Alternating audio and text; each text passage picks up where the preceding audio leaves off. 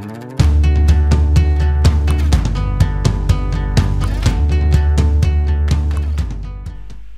everyone, welcome to the Ichimoku Charts.com daily analysis for Light Sweet Crude oil for Monday, October 29, 2012. Well, a continuation of the trend to the downside today. Candle has made a higher high but a lower low and uh, the previous day's trading we had a candle with a lower high and a lower low, therefore the trend doesn't change and uh, the market continues trending down to the downside in the first time frame. Interestingly, uh, following this very uh, solid high momentum downtrend in the first time frame, the market uh, was trading within this yellow zone of previous support and resistance and we've failed to change the trend. The market's congesting, some sort of a congestion area, but no change of trend there. So that's quite significant that the buyers haven't been strong enough to change the trend to the uh, to the upside. And it highlights this uh, area of uh, uh highlighted area in yellow and the influence uh, around the top here. Um, of the uh, selling uh, potential selling around the here with when we look at this largish black body on this candle we see the sellers starting to come back into this market and they've made some very solid net bearish progress on the day between the open and the close today.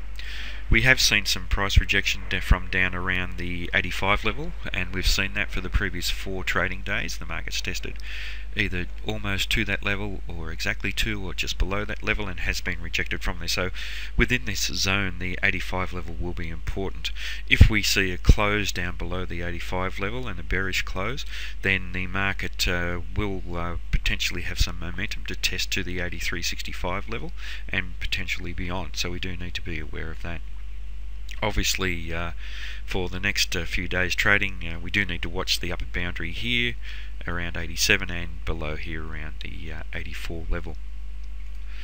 In terms of the Fibonacci extension, we're examining the current first time frame downtrend to the previous time the market was trending down and nothing much doing here. We had a bearish breakout down below the 161.8% level and uh, the fact that the market's failed to change trend does suggest that the market is destined for lower levels. The 261.8% level is uh, the next target, at, that's at 83.36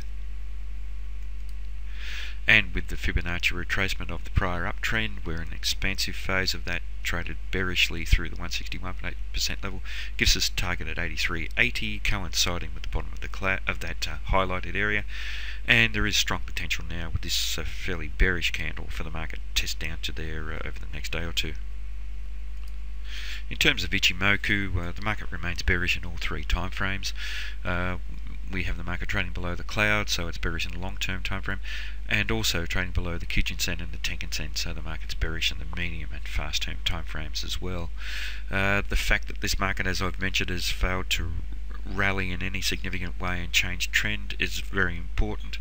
With this uh, fairly bearish black-bodied candle uh, for today's trading, it does suggest that there is potential for the market to trade to lower levels.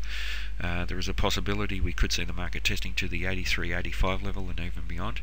Uh, before that, the 85 level I've mentioned is very important, but uh, certainly a test down to the lower boundary here at 83, 85 wouldn't surprise should offer itself as very, very solid support. It coincides with the Fibonacci levels. We have a Fibonacci ratio just down below here between there and the 83. So we do expect some solid support below, but um, certainly a test of lower levels over the next day or two wouldn't, wouldn't surprise.